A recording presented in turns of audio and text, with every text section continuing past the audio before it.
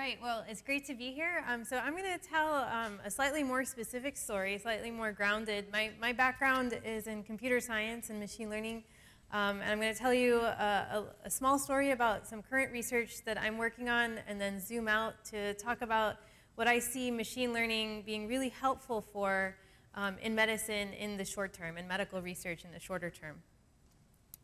So the, the small vignette that I'm going to tell you about is about disease subtyping. So one application area that I work in is with autism spectrum disorders.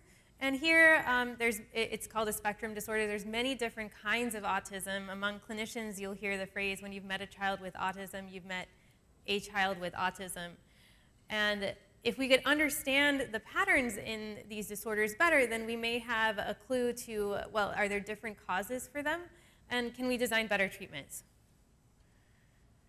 And so the, the way I approach this question is by looking at electronic health records, which are very, very low quality, poor quality data, but there's lots of them, and we have the advantage that you know, all sorts of populations, underserved populations, are more likely to make it into a clinic, um, whereas there might not be in a clinical trial. So that's our motivation here, that there's a lot of data, there's almost a moral imperative for us to go out and analyze it um, if we can discover things that could be helpful for patient health. So let me just lead you through um, this process just to, um, it, in most of this audience, I believe, is more on the medical side, um, to just uh, see how this pattern works um, in terms of machine learning and data analysis. So the first thing we did is we took this data, we pre-processed it, we counted the number of times any particular billing code came up um, and in, in, every six month window for each patient, and then that created an initial set of feature vectors. So the first part is always processing the data in some way. Um, and then we applied a clustering algorithm. We've done much more sophisticated things since then, but just to lead you all through the pipeline so we can talk about the process. And then once we got out the clusters, well, we had to spend um, several weeks of just trying to interpret them and figure out, well, okay, we grouped all these patients together, but why are they similar? You know, what, what was the algorithm thinking when it decided to do this? And that, I think, is going to be one of the critical steps um, that we need to work together on in terms of how can we make our machines more understandable to humans um, so that they can work together in a team. And what we did in this particular case is we found that, okay, these clusters, again, after lots of hand looking at all these patients, um, there seems to be a group that has elevated is elevated in psychiatric disorders, another group that had uh, elevated um, various neurological disorders, um, elevated GI disorders, and others that didn't seem to have anything particular going on. And then came the next step, which I think was the more exciting step, or the reason why uh, you know, all this research was worthwhile, because of course, okay, now we've characterized this thing, sure. Um, but it started, it, being able to define these groupings created an opportunity that wasn't there before, um, where we are able to now say, well, based on these really crappy data that were free and available, we were able to form these different subgroups. Now can we use that for other analyses, such as imaging studies, now that we have hypotheses about what might be different groups of people, do these people's brains look different? Um, how can this inform genomics and other omics studies? Now that we have these groupings, is it possible that there's over a thousand genes that have been implicated in autism spectrum disorders? Can we look at some of these and say, actually, it's not a thousand genes, it's some of the subgroups have some genes and other subgroups have other genes, right?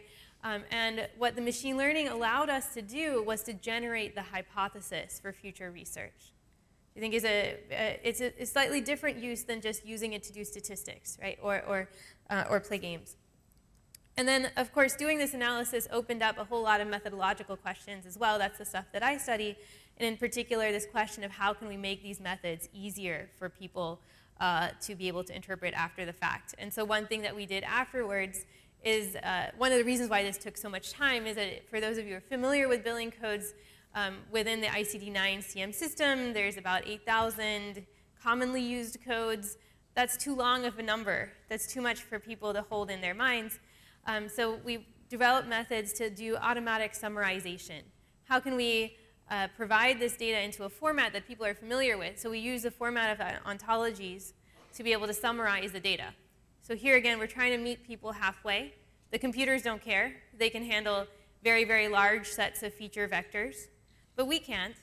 Um, and how, what's the right way to compress that information? Well, let's think about how clinicians are trained and clinical, clinical researchers are trained. if they're trained to think with certain concepts, then maybe it's a good idea to summarize the data using those concepts. So if we're used to thinking of all those bottom codes as forms of epilepsy, because we've decided that, then maybe it's a good idea for the computer to know that too. So instead of giving you, you know, 25 different features that all have to do with epilepsy, maybe it can give you just one. Maybe it can tell you, actually, epilepsy seems to be highly, or highly prevalent in this particular subgroup of patients with autism spectrum disorder. Um, and, and, these methods allowed us to produce you know, 10 times sparser representations um, and basically replicated our previous analysis in hours rather than kind of the weeks of kind of grungy handwork that we had done before. So zooming out a bit, um, I, I really see this area of phenotyping as a really important area where machine learning can be valuable for, uh, for medical research. And there's a ton of success stories both in the unsupervised setting where you say, actually, I, I, have no idea. You know, what are the subtypes in this particular disease? You take a batch of data, it produces uh, clusters or some other form of low-dimensional representation, and you use that for your next study, right? Um, that you don't need to know why those things exist, but it's very hard to come up with hypotheses when the data uh, get very complex. And here's a way of doing that. Um, there's also been uh, great success in, in supervised phenotyping, where you say, well, I've got this large cohort, um, and actually I just need, can, I, can you find me the patients that have something like inflammatory bowel disease? Because I want to see whether there's a difference between some part of their omics and the patients who don't. And again, uh, to be able to extract that very simple thing, does this patient have X?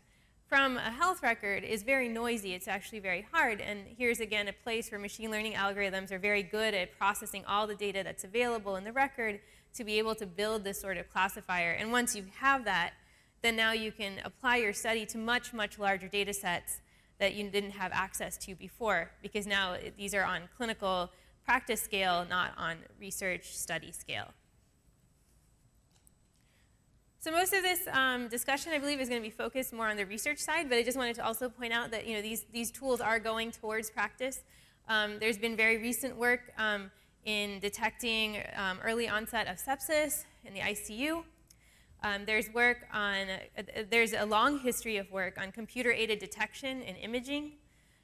And on the behavior side, so, you know, medicine is, is mostly about when people are sick, but we are also focusing on wellness. Um, how much can we find out about people's behaviors by patterns of usage on their phones in unintrusive ways? Again, the, we have very good methods for a lot of these things right now. So it all seems kind of magical, right? Um, so let's, uh, what I want to do is just take a second to talk about what's the common thread here, right? Like what, what made all of these uh, you know, successes possible? Um, as, as, alluded to before, these are all situations where the data was too complex for humans to independently analyze. So if you, if you look back here, ICUs generate boatloads of data. Um, imaging, also tons and tons of data. Um, same with phones. Um, same with electronic health records, have many different kinds of fields in them. And so uh, I, have had uh, discussions with folks who do other sorts of, um, you know, can we, can we create decision-making tools to help, you know, community health workers in rural and uh, underserved settings and those sort of things. That's not necessarily where I see a lot of machine learning being helpful, because in those cases, many times, you know, we're, we're good thinkers, right? We don't need help when, there's, when the data is relatively small and the options are relatively small, right? Where we really need help is where there's too much data for us to think about, and perhaps also stories that are too complex for us to think about. And as we are able to store more and more data, again, we're moving more and more into this regime where it's not just ICUs that have boatloads of data, in general, people are just generating loads of data, for example, on their phones. And I would argue that you know, this creates, again, a moral imperative for us to try to an analyze that data because hopefully that gives us clues into how to improve patient health.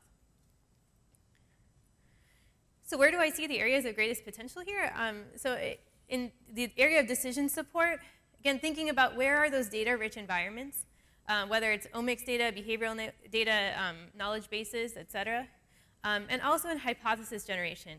Um, and thinking about um, what sort of phenotypes are present in the data. And if, you, again, the data is too complex, maybe you need a machine to be able to scan over all of it and find some sets of patterns.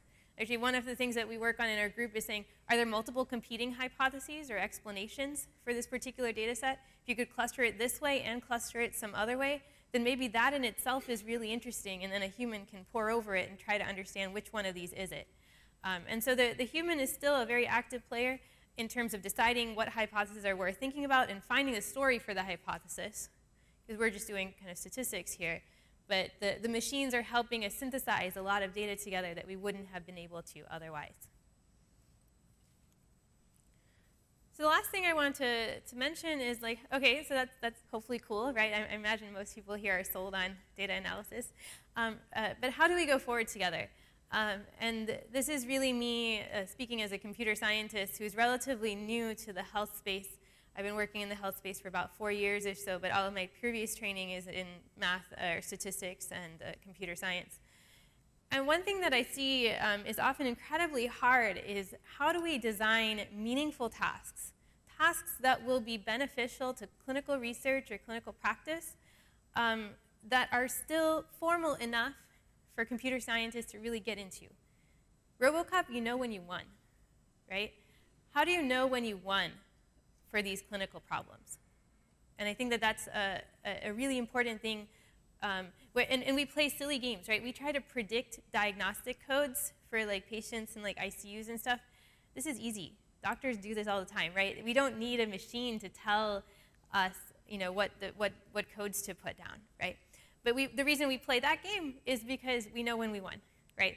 So I think one, one task uh, or question I have for all of you is coming up with uh, meaningful tasks that, you know, again, we, we know when we're winning.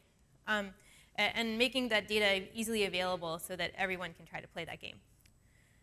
Uh, the, the, next uh, thing that I want to talk about is algorithms, right? So that's mo mostly what I do. I, I, work on designing algorithms. And uh, again, this all comes down to measurements and, and, metrics. But one thing that seems to be very important is these notions of interpretability and interactivity, right? Where uh, we don't want the agent just working on its own. We, we want our agent to be working with a researcher to be able to help generate hypotheses, it has to be able to explain them somehow. It has to meet the human halfway, right? And what are the appropriate notions of halfway? And that's something where, um, to the extent that we can formalize them, I think we'll see um, a, a, much bigger boom. There's, there's tons of excitement in these, these days in the machine learning world about interpretability, just no one knows what it means? So if we can define it, what it means in a particular context, I think, again, we can make great strides. And then finally, um, when it comes to evaluation, a lot of these techniques that I mentioned are very useful for hypothesis generation. And the, way, the reason I say so is that a lot of times the data are of poor quality, right? What machine learning allows us to do is you know, try to glue together you know, partial sources, messy sources, places where things are missing. We know that there's biases, but we're like, but there's all this data, we should not just let it sit there, right? We should analyze it somehow. Um, and that's why often it's better for hypothesis generation that rather than actually testing something, right, or, or making those predictions. Um, you still need the clinician in the loop or the scientist in the loop to be able to make that final prediction. But what does that mean in terms of like how we do science, right?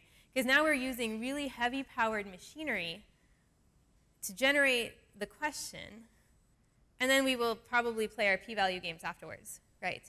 Um, and so there, there's this question of like, what are the what are the notions of um, evaluation that are that are appropriate in this space? I think all of these questions, to the extent that we can formalize them together, uh, eh, you know, right now, where where are the computer scientists going? Well, they're, they're playing video games. Um, they're they're doing ad placements for uh, for Google and Yahoo. Um, and I think there's a lot of opportunity to do a lot of good in this particular space with health and medicine um, if we can find better ways to come together and formalize what tasks we're actually trying to solve. Thank you.